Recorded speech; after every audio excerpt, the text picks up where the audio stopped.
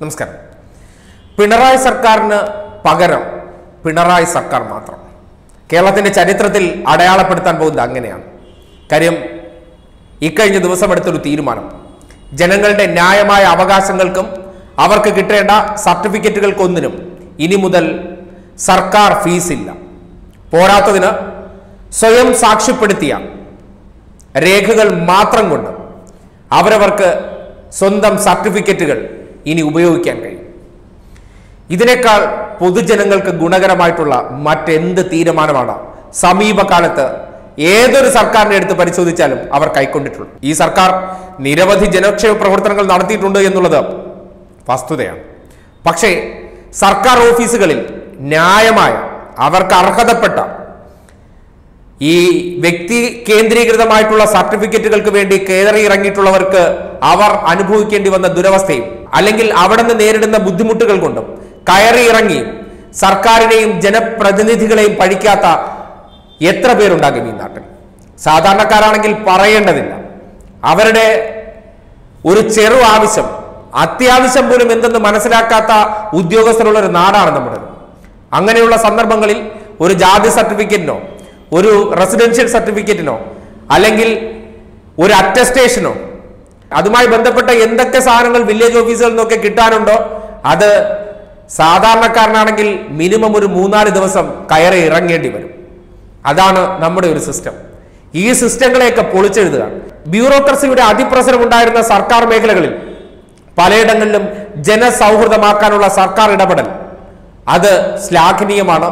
അത്തരം വിഷയങ്ങൾ പിണറായി കൈക്കൊള്ളുന്നതും അദ്ദേഹത്തിന് പൊന്തൂവലായി മാറുമെന്നുള്ള കാര്യത്തിൽ ഒരു തർക്കവും വേണ്ട. കേരളത്തിലെ മുഖ്യധാരാ മാധ്യമങ്ങൾ ഉൾപ്പെടെയുള്ളവ ഈ വാർത്ത വലിയ തോതിൽ റിപ്പോർട്ട് ചെയ്യപ്പെട്ട് കണ്ടില്ല.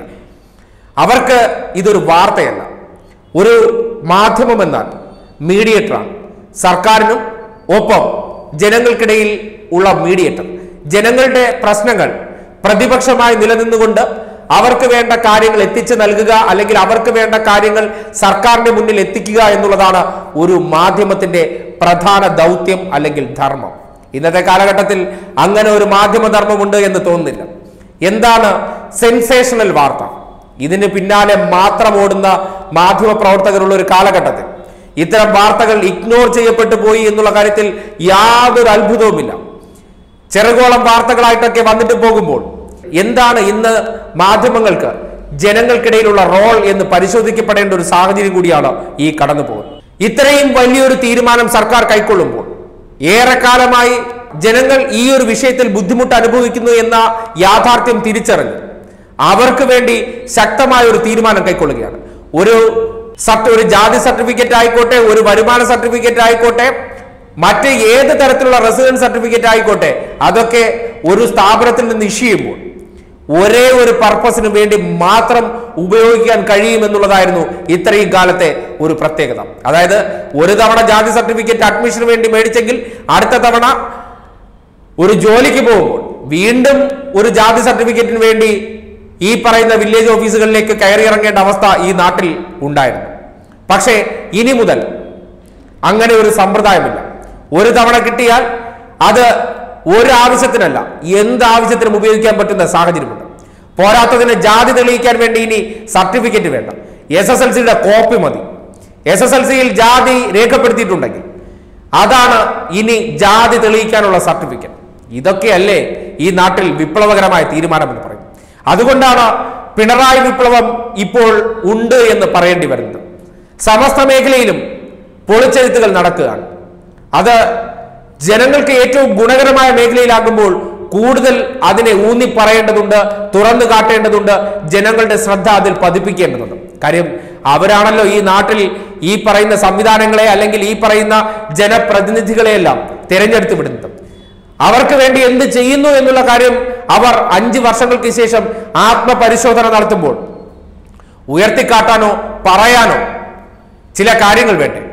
അപ്പോഴാണ് ഈ പറയുന്ന കാര്യങ്ങളെല്ലാം കൂടുതൽ പ്രസക്തമാകുന്നത് അപ്പോൾ മാധ്യമങ്ങൾ എന്ന സംവിധാനങ്ങൾ രാഷ്ട്രീയ പ്രവർത്തനത്തിന്റെ കൂടി ഭാഗമാകുമ്പോൾ ഒരുപക്ഷെ ഇത്തരം വാർത്തകൾ കൃത്യമായി റിപ്പോർട്ട് ചെയ്ത് ജനങ്ങളുടെ ഉള്ളിലേക്ക് എത്തിപ്പെട്ടാൽ അത് പിണറായിക്ക് ഒരു പൊന്തുവലായി പോകുമെന്ന് കരുതി അതിനെ മറച്ചു പിടിക്കുമ്പോൾ എങ്ങനെയാണ് ഈ സംവിധാനത്തിനൊക്കെ വളർച്ച ഉണ്ടാകുമെന്ന് പറയും ഇപ്പോഴേ പരിതാപകരമായ അവസ്ഥയിലാണ് ഈ സംവിധാനങ്ങൾ. അതായത് പത്രങ്ങൾ എന്ന് പറയുന്നത് തന്നെ വെന്റിലേറ്ററിൽ കിടക്കുന്ന അവസ്ഥയാണ്.